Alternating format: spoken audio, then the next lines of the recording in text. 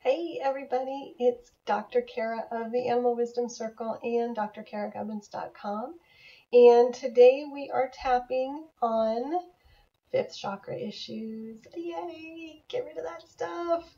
So this is um, a great video for you if you feel like you hold yourself back from speaking up or saying what you want to say or asking for what you need or feel like anybody cares about you feel like nobody cares about what you have to say um, then we're going to tap on all those things and clear them so that you can get to the truth, which is that you matter, you have a valuable contribution, and um, we need to hear your voice. Okay, so this this tapping sequence is based on the wisdom of the peacock, and the peacock is really about contributing to the community and sharing your message with the world and selfless service, um, much like many of the animals um, that we've tapped with in here, um, including the bumblebee for sure, um, is all about selfless service. So definitely some themes out there in the animal kingdom. But today it's all about the fifth chakra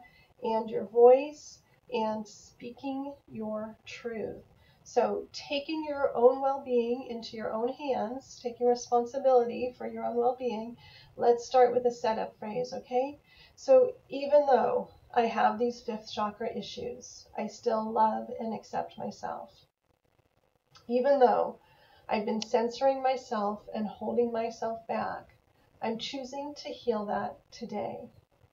And finally, even though I feel like nobody cares about what I have to say, I'm choosing to find my voice and speak my truth now. And then moving to the points, all of this pressure in my throat, all these words I haven't said, all these things that I want to say, but I've been censoring myself, holding myself back. Who am I to say these things? What will happen if I say that? I can't say that. What if people don't like me if I speak my truth? What if I piss somebody off by speaking up for myself? All this fear of what if, all this fear of what might happen holding myself back from speaking my truth, holding myself back from using my words. I forgive myself for buying into the misunderstanding that my words don't matter. The truth is, I have a lot to say and contribute, and my words have value. Even if nobody else sees their value, I see their value. I'm choosing to say what I need to say at the right time. All this tightness in my throat, all this pressure, all these fifth chakra issues about expressing myself. I'm choosing to take some pressure off myself.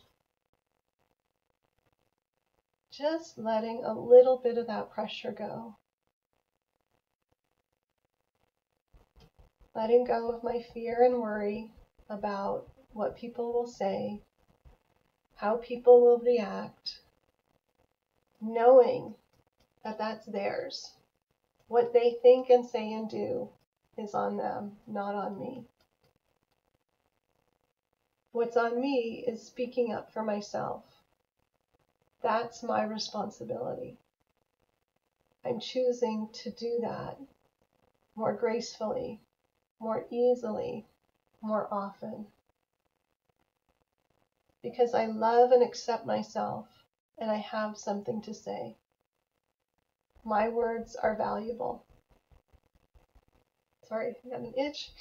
My words have meaning I'm contributing when I speak up. They don't know how I feel until I tell them. It's up to me to communicate what's inside of me.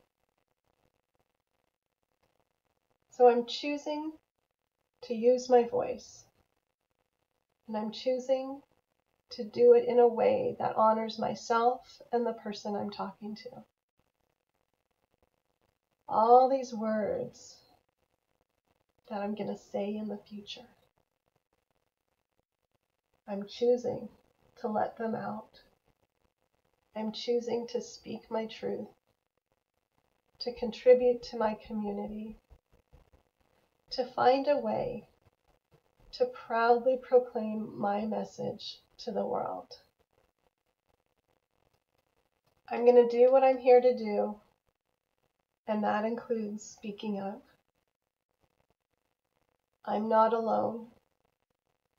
I'm a leader. I lead with my voice. I lead with my words. We all are contributing to our community. Each one of us is a piece of the puzzle.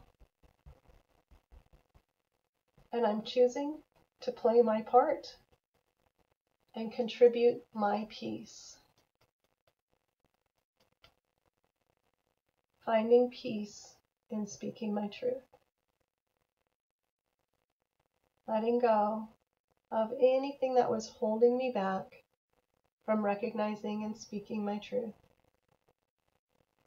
I'm choosing for it to be easy, simple, and clear to use my voice, sharing my message with the world, seeing my value in my words. I'm open to a new way of being and speaking in the world. And then just allow that to come to completion. Taking a deep breath and letting it out. And just allow that energy to move through your body, filling all those places that were locked up, holding back your voice. And now they're open. And so now all that energy can move through you. Take the power and the message and the wisdom of the peacock with you as you go through the day, bringing yourself fully to your community, speaking your truth, sharing your message, doing what you're here to do. And if you feel called, come join us in the Animal Wisdom Circle because we connect with a different animal each month. We take their wisdom and we apply it to our lives. So we find out the ways that we're already doing that and we see where we're, we're caught up in not doing that, where we have the opposite of that spiritual guidance.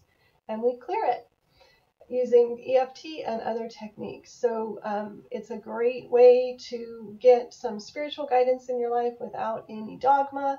It's all about you and your truth, and it's a really positive, supportive community. So I hope you'll join us, animalwisdomcircle.com. Have a great day.